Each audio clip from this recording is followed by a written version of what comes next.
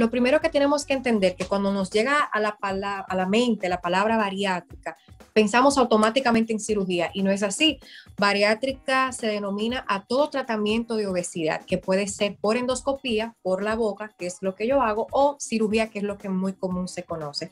Existen cuatro métodos que podemos utilizar. Número uno, colocar dispositivos como el balón paciente coma menos cantidad y pierda peso y están las endosuturas, que es la gran revolución. Se puede hacer una manga sin cirugía, haciendo el estómago en forma de una banana, de manera literal, y otra opción que tienen las endosuturas es para pacientes que han reganado peso luego de una cirugía bariátrica, ya sea manga gástrica o bypass, se le puede hacer una revisión. Lo primero que siempre digo, debemos identificar nuestro índice de masa corporal. ¿Y qué es? Es la relación de tu peso y talla comparada con el mundo.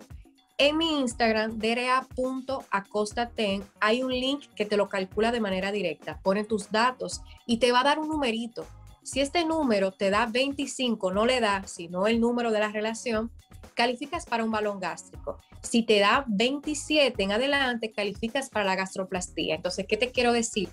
Pacientes que tengan sobrepeso, obesidad de este tipo 1, pero que su relación sea aproximadamente entre 20 a 25 libras en adelante que tenga que perder, que se le ha hecho un retador con dietas, ejercicios. Ya aquí podemos pasar al segundo plano, que es la endoscopía bariátrica.